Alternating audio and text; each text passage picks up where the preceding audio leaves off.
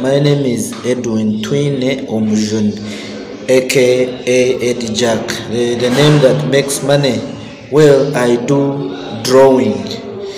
Under drawing, there is a fine art drawing, there is a geometrical drawing, there is a architectural drawing, there is a 3D drawing. But within those types, I chose to do art drawing, whereby it has a subtitle called um, visual visual drawing. Under visual there is painting there is uh, sculpture there is drawing of human nature and i chose drawing of human nature.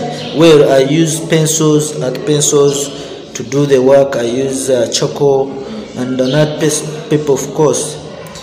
Uh, all that i can advise the youth is that focus on what you like.